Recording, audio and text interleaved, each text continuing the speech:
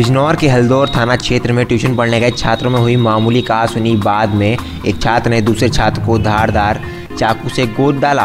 उधर इस घटना को अंजाम देने के बाद आरोपी छात्र मौके से फरार हो गया। उधर गंभीर रूप से घायल छात्र को पहले तो वहाँ मौजूद लोगों ने हल्दौर के प्राथमिक स्वास्थ्य केंद्र में भर्ती कराया। बाद में गंभीर घायल छात्र को प्राथमिक स्वास्थ्य केंद्र से बिजनौर जिला अस्पताल भेज दिया। उधर छात्र की इलाज के दौरान हालत गंभीर होने पर छात्र को जिला अस्पताल बिजनौर से higher secondary higher centre Meerut refer कर दिया गया है। बिजनौर के हल्दौर क्षेत्र में एक ही कोचिंग में पढ़ने गए बारहवीं कक्षा के छात्र पिंकू की उसी कोचिंग में पढ़ रहे छात्र से मामूली कासुनी हो गई।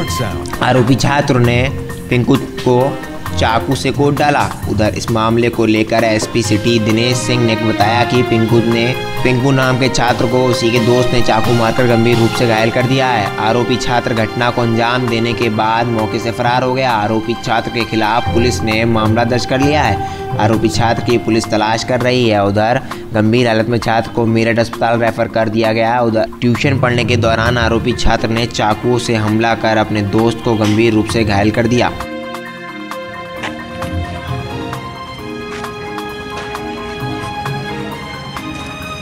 Smart Sound.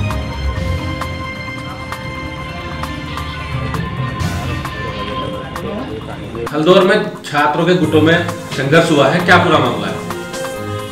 हल्दौर में दो छात्रों के बीच में विवाद की बात अभी संज्ञान में आई है कि उसमें एक छात्र दीपू नामक का घायल हुआ है जिसे एक छात्र ने धारदार हथियार से चाकू से हमला किया था जिसमें अभियोग पंजीकृत किया जा रहा है और निर्देशित करके तत्काल साक्ष्य करके